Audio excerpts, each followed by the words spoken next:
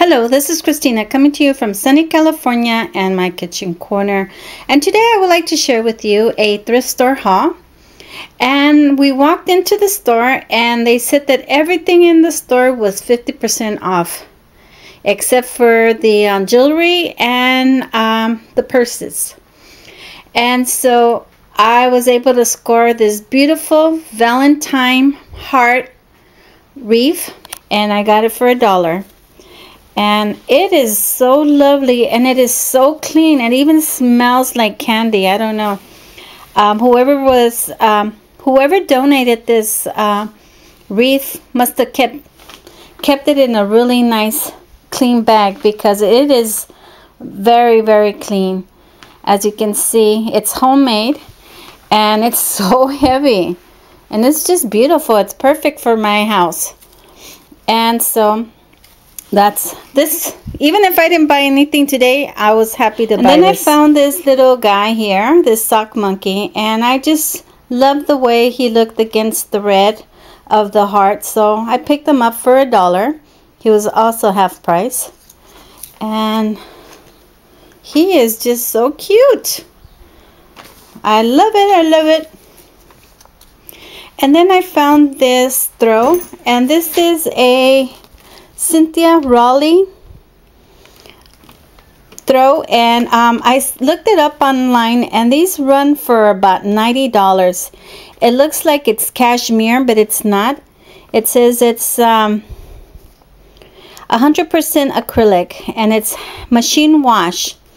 That's why I bought it because I'm gonna be washing this really really good. And so I picked this up for $2.50 and it just feels so warm. And I'm gonna be going to Mexico so I'm thinking I'm gonna take this for my trip and um, and then I'll just leave it over there if I don't want to bring it back. It has gray and blue stripes and it's just so pretty and so soft. And then I also picked up this galvanized tray and I paid a dollar for it. It was 50% off. Sorry about the glare but I just wanted to show you the back. And um, it has like um, um, roses like a graphic print of um, roses. I, I picked it up because it's galvanized and I have um, like a galvanized pail collection.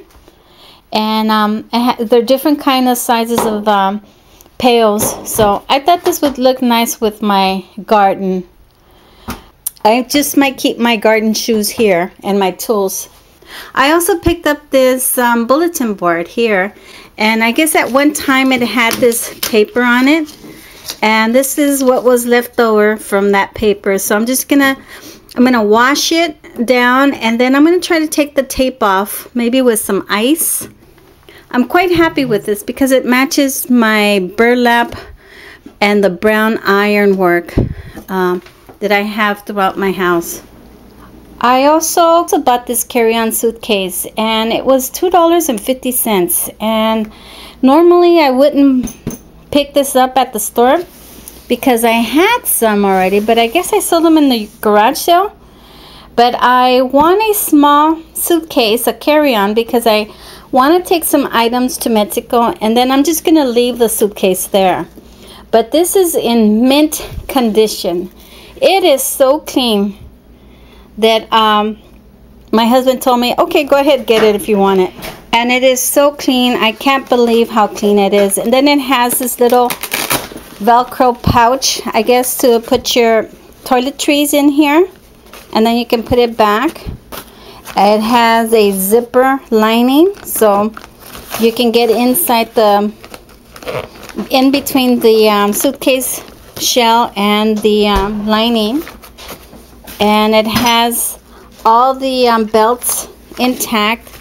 Everything is clean. Everything is nice and clean. It doesn't smell. So I'm quite happy with this little carry-on bag. And um, yeah for two dollars and fifty cents I can't beat it. Look at that. That is nice have you been to a thrift shop lately? If so, what did you buy?